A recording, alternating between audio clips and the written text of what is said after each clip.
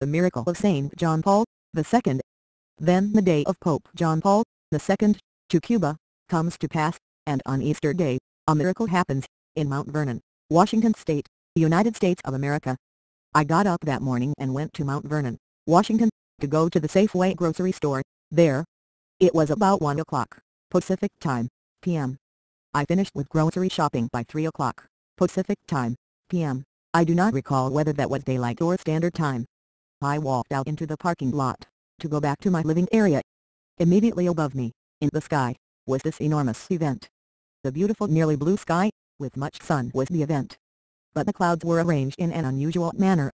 I stopped and told a few persons, which became several hundreds of persons, before the event was over. We all looked at the sky. Look, there, I said, the clouds at the top of the sky, are shaped just like North America with the USA and Canada, and even a cloud, like Alaska and its island groups.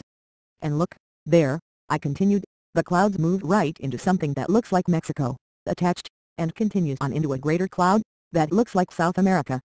Look, at the southern tip of its cloud, is a little island, and a giant mass of clouds like Antarctica. Even, over there, is a cloud looking like Florida of the North American cloud, and just near it, is a cloud which looks just like Cuba.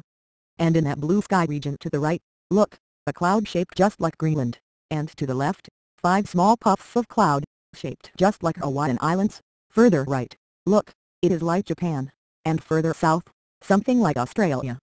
Another person stepped out, and asked, is this what is meant he comes like onto a cloud? Exercising power and authority.